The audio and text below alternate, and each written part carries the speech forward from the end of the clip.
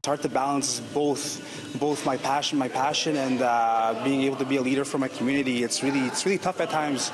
I spend my energy all around, and it's it's really tough. But you know, I wouldn't have it any other way.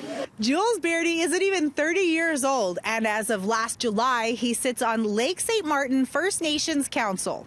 I'm the youngest one. I'm the the rookie, as I say. Beardy says being able to represent the youth's voice on council helps others to look towards their own future. He hopes more will run for leadership positions both within their own nations and even at provincial and federal levels the youth are starting to take over. Good supports. If you have a good, if you have a good name and a good. Um, good intentions, you know, why not? Even sitting on council, Beardy is still pursuing his lifelong dreams of fighting in the Muay Thai rings, just like this one, only in Thailand. In fact, for the last three months, he's been pouring his heart and soul into training.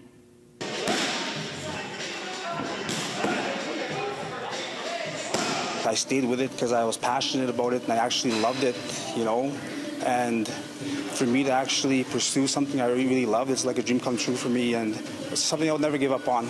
He says even though he'll be gone for an entire month to fight in Thailand, he knows everything will run smoothly during his absence. There is seven elected leaders that sit on the sit at the table and you know when I, when I exclude myself for four weeks, they support me and they that were happy for me. And you know like the show goes on. Beardy says what he learns from his training as a muay thai fighter helps him stay focused in all aspects of his life.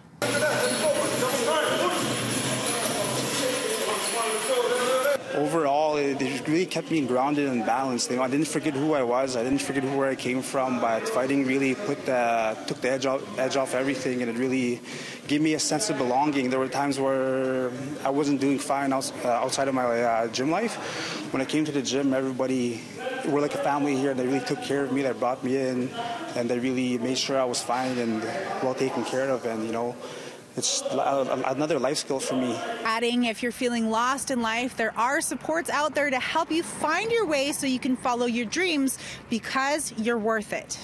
I think it's very important for our young Aboriginals to find something they love, something they really cherish, something where someone or something where they find a sense of belonging, where they can uh, embark on a new adventure, a new path, a positive one, instead of being involved in gangs or drugs or any kind of criminal activities, I think they should find their calling. He leaves for Thailand May 16th and returns June 13th.